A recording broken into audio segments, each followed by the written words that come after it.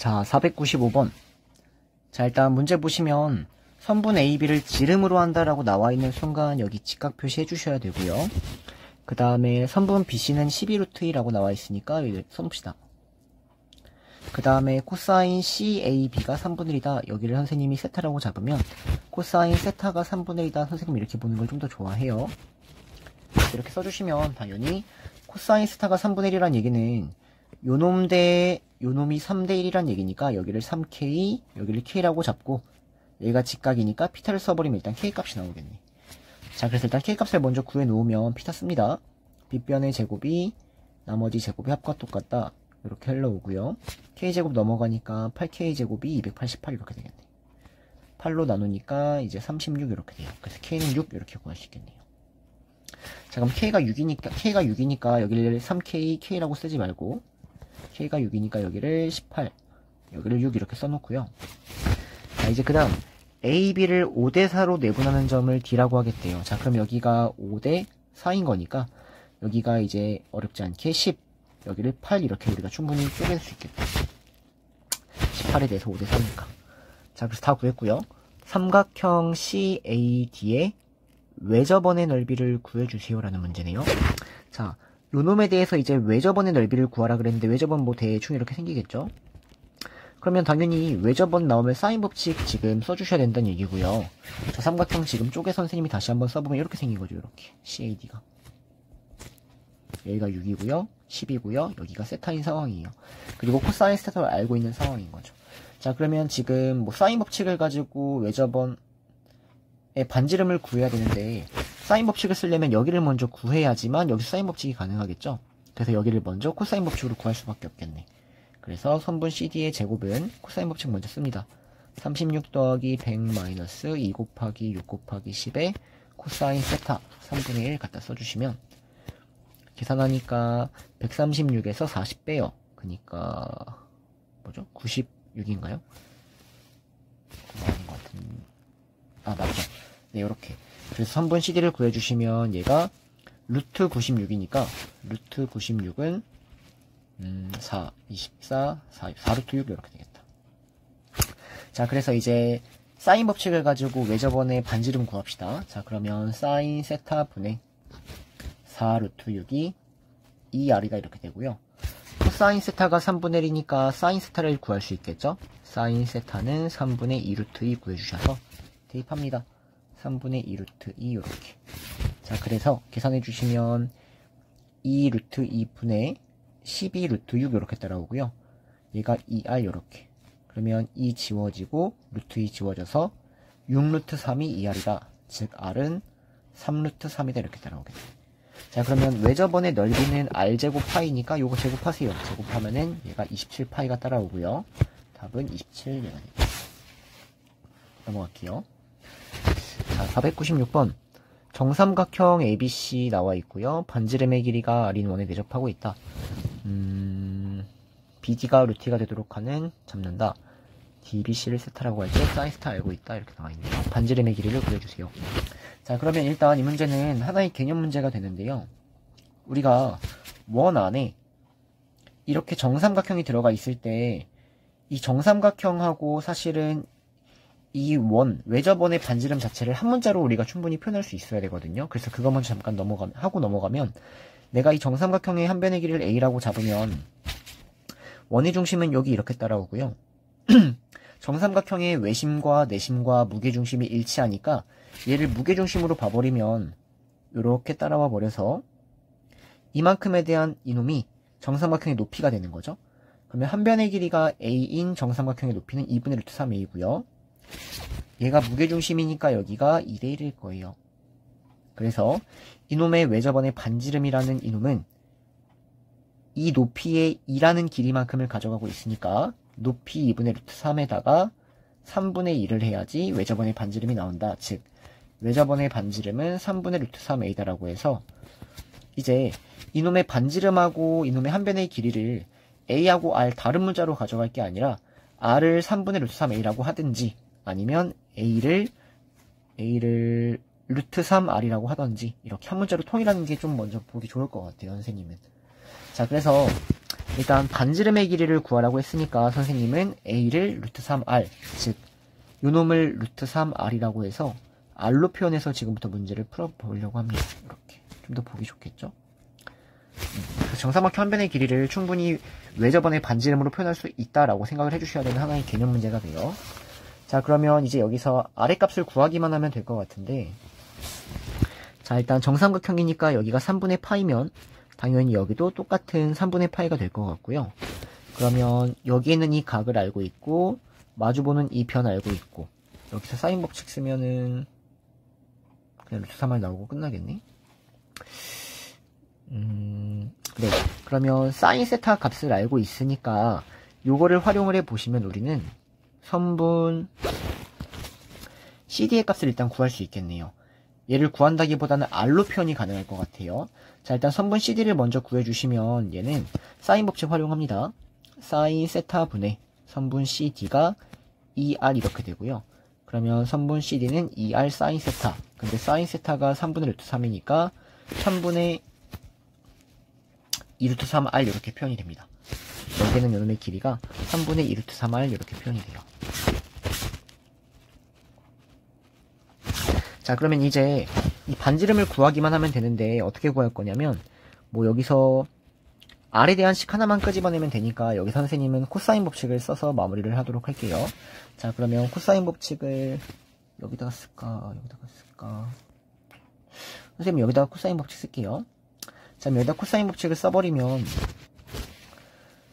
음... 요놈의 제곱은 3R 제곱은 나머지 제곱합니다. 루트 2의 제곱 더하기 요거 제곱하세요. 그러면 음, 9분의 12, 3분의 4R 제곱 마이너스 2 곱하기 루트 2 곱하기 3분의 2 루트 3R 곱하기 코사인 3분의 파이 2분의 1 이렇게 따라오겠네요. 자, 계산해 주시면 2 더하기 3분의 4R 제곱 마이너스 2 날려버리고 음, 루트 2 곱해지니까 3분의 2 루트 6R 이렇게 되겠다. 자, 그래서 양쪽에 3을 곱하고 전부 다 오른쪽으로 넘길게요. 자, 양쪽에 3을 곱, 아, 왼쪽으로 넘깁시다. 자, 요 놈을 양쪽에 3을 곱하고 왼쪽으로 넘겨버리면 여기는 9r제곱 따라오고 4r제곱이 왼쪽으로 넘어가니까 5r제곱 되고요. 3배 곱하고, 3배 곱하고 넘기니까 더하기 2 루트 6r 이렇게 되고 3배 곱하고 넘기니까 마이너스 6은 0 이렇게 되겠네요. 자, 그래서 아래 값을 구해야 되는데 여기서 뭐 인수분해가 되는 게 보이면 좋겠지만 지금 잘 안 보이죠? 그래서 근의 공식 쓸게요. 그러면 R은 2A분의 어, 짝수 공식 씁시다. A분의 마이너스 B 프라임 플마 루트 B 프라임 제곱 마이너스 AC 이렇게 따라오겠네요. 계산하면 5분의 마이너스 루트 6 플러스 마이너스 6 이렇게 되는 거예요. 그러면은 마이너스일 수는 없겠죠? 길이니까. 그 답은 5분의 6 마이너스 루트 6. 그 답은 1번이 답이 되겠네요. 자, 그래서 지금 주어진 이 문제는 많이들 좀 못 푸는데 정리를 어떻게 먼저 하셔야 되냐면 일단 정삼각형의 한 변의 길이와 요놈의 내저번의 아 외저번의 반지름 자체가 사실은 한 문자로 표현되니까 아무렇지 않게 한 문자로 표현을 해줘야 되는 이게 중학교 개념이에요 이거는 근데 이 개념이 이제 지금은 사인 법칙으로 사실은 조금 더 간단하게 보여질 뿐인 거죠. 사인 법칙으로 사인 3분의 파이 그것도 한번 써줄까요? 사인 3분의 파이 분의 한 변의 길이 a가 2r이다 이렇게. 그래서 여기서 이런 관계식이 충분히 나온다는 얘기예요. 중학교 개념을 하면 무게중심 이렇게 나오는 거고. 자, 그래서 어쨌든 한 문제로 통일을 해주시고, 그 다음에 R에, R에 대한 식 하나를 끄집어내서 R 값을 구한다, 이렇게. 끄집어내는 방법은 코사인 법칙이었다. 문제는 좀 시간이 걸렸네요. 자, 497번. 한 변의 모서리 길이가 한 모서리 길이가 3이다. 정사면체가 있다. A, B를 1대2로 내분하는 점을 M이라고 하자. 그럼 여기가 1이고, 여기가 2네요. 자, 그래서 M을 출발해서 이렇게 움직이는데, 최단 거리를 구하라. M에서 A까지 최단 거리 구하라. 자, 그러면 지금은 입체 도형의 최단 거리는 일단 전개도 그리고 일직선 이렇게 생각하면 되죠. 전개도에서 이제 일직선으로 걸러, 걸어, 이제 흘러갈 때가 최단 거리다. 자, 그래서 일단 선생님은 여기에는 이놈이랑 이 선들이 거쳐가는 여기에는 얘랑 오른쪽에 있는 A. 그리고 마지막에 있는 여기는 요놈. 요 세 개를 건너가고 있으니까 어쨌든 지금 세 개를 여기다가 이어서 붙여서 그려야 되거든요. 자, 그러면 정삼각형 저 세 개를 이어서 붙인다고 생각을 하면 펼쳐보세요. 그러면 여기는 여기도 60도고 얘도 60도고 60도가 3개니까 3개를 펼치면 180도가 나오게끔 생각을 해주시면 하나를 선생님이 그렸어요. 그 다음에 하나를 그렸어요. 그 다음에 나머지 하나를 그릴 때 180도가 이렇게 이렇게 하나 이렇게 하나 하나 모여서 180도 나오니까 사실은 이렇게 흘러가서 이렇게 그려주면 되겠다. 이런 형태가 나온다는 얘기죠. 여기는 이 세 개를 펼쳐버리면 순간을 그리고 자 그래서 m이라는 걸 여기다가 하나 찍고요. 요만큼이 1이고 요만큼이 2가 되는 상황이고요. 여기서부터 a까지 흘러간다라고 하면은 여기가 이제 뭐 a가 되겠죠. 이렇게 쭈르륵 가서 이렇게 그래서 이 빨간색 길이의 최 빨간색 길이의 그냥 거리 자체가 최단 거리가 된다 이렇게 정리가 될 것 같아요. 자 그러면 얘를 이제 어떻게 구하냐? 여기부터 여기까지는 정삼각형이라는 한 변의 길이가 두 개 있는 거니까 6이고요. 여기가 1이고요. 그 다음에 여기가 60도라고 알고 있으니까 그냥 코사인 법칙을 써버리면 이 길이가 나온다는 거죠. 자, 코사인 법칙 써주시면은 3분의 AM의 제곱이 6의 제곱 더하기 1의 제곱 마이너스 2 곱하기 6 곱하기 1 곱하기 코사인 60도 이렇게 계산하시면 37 마이너스 6 31 답은 루트 31 5번이 되겠네요. 자, 498번 밑면의 반지름이 4km인 모선의 길이가 모선의 모선의 길이가 12km인 원뿔 모양의 산이 있다. A 지점에서 한 바퀴를 돌아 최단거리 구하라. 마찬가지로 전개도 일단 펼치셔야겠네요. 그래서 일직선 이렇게 묶으면 또 똑같이 답은 나오겠네. 자, 여기가 5고요. 여기를 뭐 A 이렇게 잡을까요? 자, 그래서 일단 여기 A에서 시작해서 이제 여기 접으니까 여기도 A죠? 뭐 이렇게 올 텐데 여기에서 시작해서 B에서 끝나야 되니까 B를 이렇게 그려주셔서 3만큼 남게 3만큼 남게 이제 이런 형태로 그려줘야겠네요. 자 그러면 모선의 길이가 12니까 여기가 12고요. 여기가 9라고 알고 있고요. 내가 구하려는 게 요놈의 길이니까 이 각을 찾아야겠죠? 그러면 전개도에서 이 각을 어떻게 찾냐? 요거는 이 호의 길이와 이 둘레가 일치한다 이렇게 가셔야겠네요. 자 갈게요. 자 그러면 이놈의 둘레는 지금 반지름이 4인 놈이니까 8파이라고 얘기하면 되고요. 자 그러면 호의 길이 구하시면 호의 길이는 R세타죠. 그래서 반지름이 10이고 여기 세타라고 하면은 12세타가 8파이다. 그래서 세타를 구하시면은 12분의 8파이 즉 3분의 2파이 이렇게 나오는 겁니다. 얘가 3분의 2파이예요. 자 그래서 이 빨간색을 구하기 위해서 이제 두 변하고 끼인 각을 아니까 코사인 법칙 여기다 쓸게요. 코사인 법칙 써주면 AB의 제곱은 12의 제곱 9의 제곱 마이너스 2 곱하기 12 곱하기 9 곱하기 코사인 3분의 2파이 마이너스 2분의 1이죠. 그러면 여기 더하기 바꾸고 2분의 1 이렇게 하면 되겠다.